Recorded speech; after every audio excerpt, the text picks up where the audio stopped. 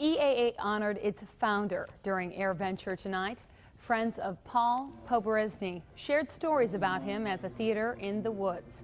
Poberezny passed away last August at 91 years old.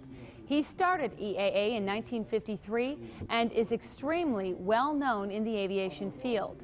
Those who knew him say he loved airplanes, but there's something that he loved even more. What Paul was really all about was people. And he was about how you bring a group of people together that share a common passion and help them get more out of what they're interested in and what they love to do and enable people to participate and be involved. And that's what Paul was all about.